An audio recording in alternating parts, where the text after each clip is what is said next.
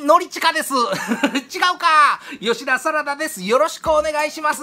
えー、2020プロ野球、えー、開幕いたしました やったー 嬉しいやっと本日開幕しましたね。でもですよ。でも、開幕戦、負けちゃいましたね。ちょっとね、なんか嫌な負け方でしたね。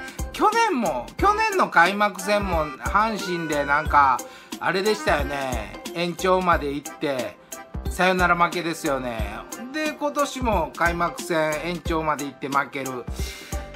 ちょっと去年と一緒のやばい空気が漂い始めてきたような気がするんですけどもでもですよ。確かに今日は負けました。でも課題が見えたような気がするんですよ。課題。その課題さえ克服すればヤクルトスワローズめちゃくちゃ強くなると思うんですよ。その課題っていうのはやっぱり後ろのピッチャーじゃないですか。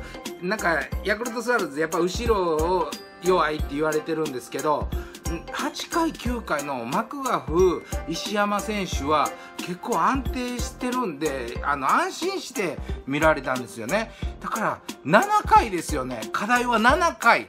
あの長谷川選手ちょっと今日不運なところもあったじゃないですか。だからかわいそうだなと思うんですよね。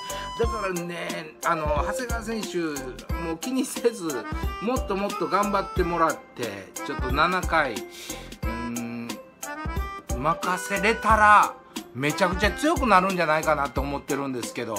いや789もう3人決まればヤクルトスワローズ優勝間違いなしでございますもうねもう初回から山田哲人選手がホームラン打って勢いづけてくれるそんなチームですからもう後ろさえしっかりしていただければやっぱりもう石川選手もやっぱり安定してて、さすがですよね。勝利あげたかったな。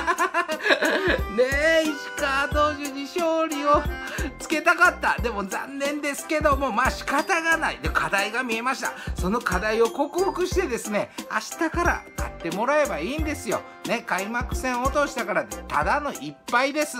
もう途中でやる一敗と一緒です。これね、買ってたら、開幕戦勝った1勝は他の1勝とは違うでかいとか言うてると思うんですけども、負けたから言えるんですけど、ただの一敗、明日から勝てばいいんです。ね、もう プロ野球始まってめちゃくちゃ興奮しております。明日からヤクルトスワローズもう連勝でお願いします。789安定しますように、よろしくお願いします。じゃあ、皆さんも明日からもヤクルトスワローズ応援いたしましょう。本日は以上です。ゴーゴースワローズ